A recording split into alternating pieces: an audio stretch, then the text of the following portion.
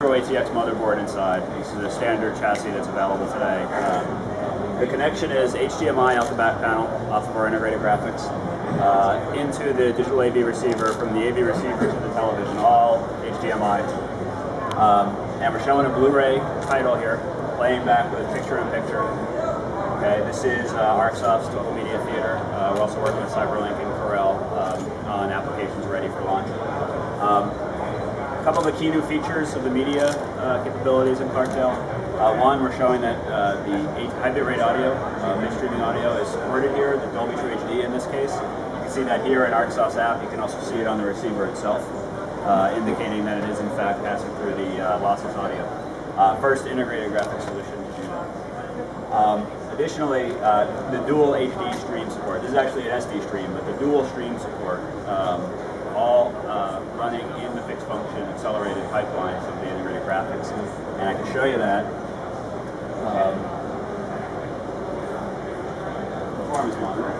One other quick thing to mention, Josh, is that one of the other cool things is the connection from your PC into your home entertainment system is now all going through one cable. Right.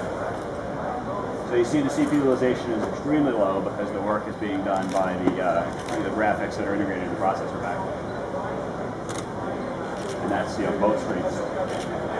One other thing I wanted to show you quickly. Uh, um, is in addition to the uh, you know incredible media capabilities and 3D performance we talked about, we also have a completely new streamlined user interface for the graphics that'll come out um, with the driver that launches with Clarkdale. Um, and it's a, a, more style look and feel, uh, more appealing look and feel, but also a more intuitive uh, layout and functionality. So here we have the different uh, navigation for different classes of functions. Under media, for example, we have the image enhancement menu.